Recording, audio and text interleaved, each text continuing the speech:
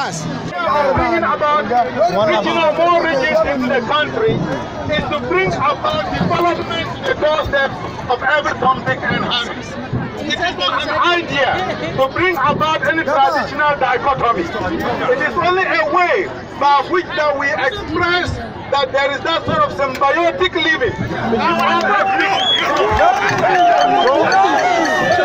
We are aware that the government has promised development in the whole country mm. and creating regions will bring about education to the doorsteps of the needy.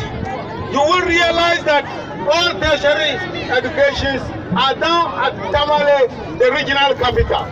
All such will be disseminated into the various regions. Mm. We are aware that health facilities are all, we have only one teaching hospital in uh, Tamale.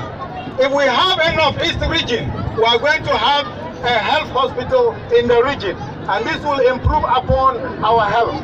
This will go a highway to bring about employment to the youth and to put money in our pockets.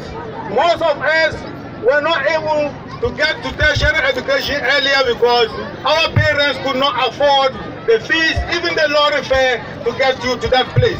But today, if a region is